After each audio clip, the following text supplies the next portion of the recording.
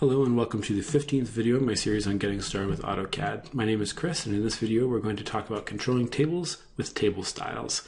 Please note that I'm using AutoCAD 2015. If you're not using the same version, our versions are going to look different. That out of the way, let's get started here. Now in my last video we talked about creating tables and so by this point you should be pretty good at that. Uh, you should have that under your belt. If you don't I would recommend going back to the last video and checking it out. In this video, we're also going to be drawing on another video that I made, uh, which is how to make a text style. And if you aren't familiar with that, I would recommend going back to that video as well. So we're going to be building on some additional components that we've already covered. Let's go ahead and start here by inserting a table. We're going to type table, and I'm just going to leave the defaults the way they are and click OK and drop it in these columns and these rows and the cells and the borders and the text and all of this can, can be controlled by your table style. So let's take a look and see how that works. Let's start by typing table style. And up comes our, our dialog here. And you'll notice there's a standard table style that comes with AutoCAD. We're going to go ahead and modify that. And let's go ahead and change the background color of things just to see kind of how it works. So let's start with the title, this top row. And let's set that to be cyan. There we go. We go ahead and click OK, go ahead and click close, and you'll notice and it comes this awful cyan color. Let's do this again here really quick. Let's modify that again. Let's change that to the header and say we want the fill color on this to be green.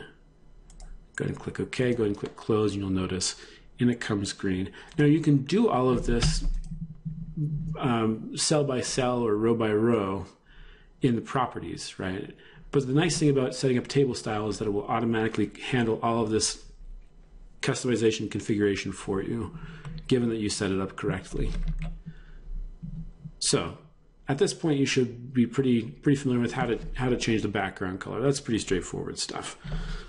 Let's go ahead and insert another table here, just so you can see that when you pull a new table in, it pulls in the style that you've you've uh, configured already. So let's go ahead and type table. And let's insert a new table. You'll see it comes in and it comes in exactly the way that our style is dictated.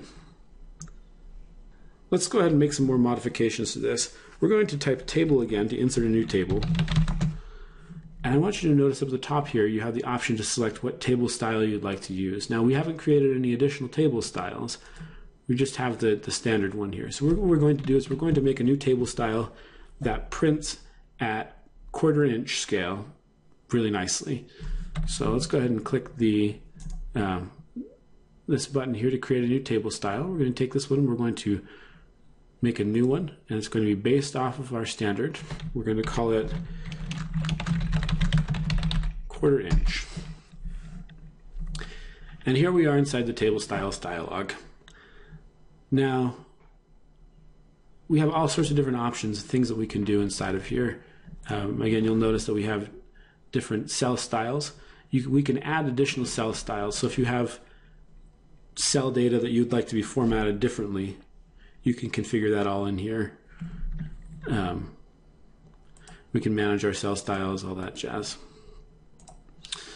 But we're going to work with the default cell styles that we have in here. And we're going to start with the title.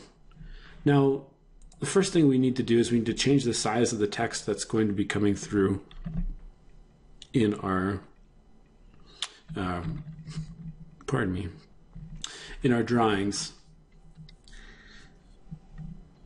Because at quarter inch, the default text style is extraordinarily small. So let's go ahead and make a new text style here for the title.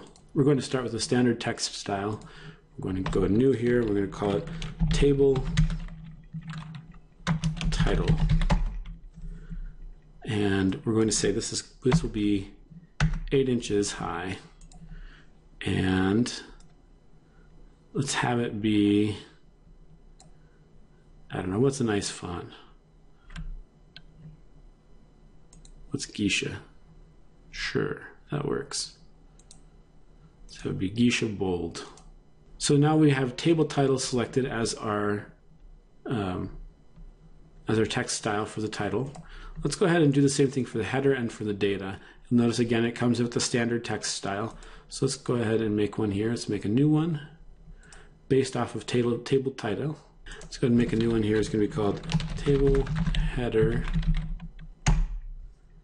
We want this to be Gisha, but we want it to be regular. And we only want it to be six inches tall.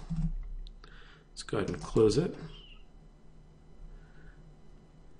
And then let's go ahead and do the same thing for our data here. So our data is going to have a new text style as well. It's going to be called table data. And the text style on this is only going to be four inches tall. And we're going to be using Gisha regular on it. Let's go ahead and click OK and close and OK.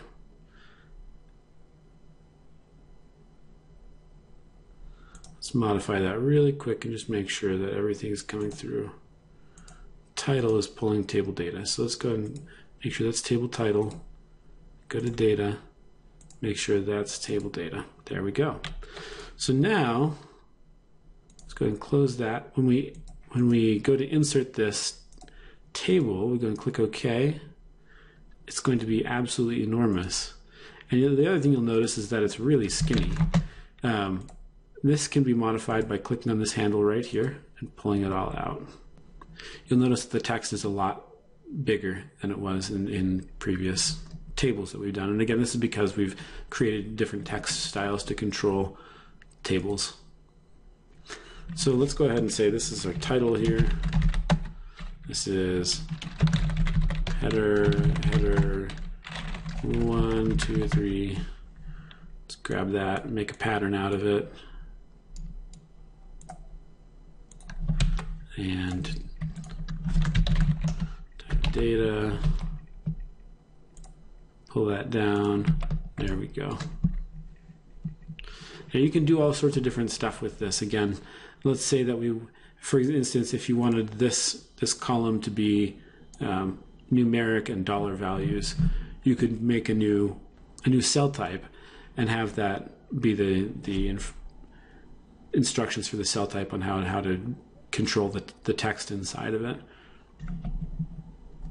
So, in a nutshell, that's table styles.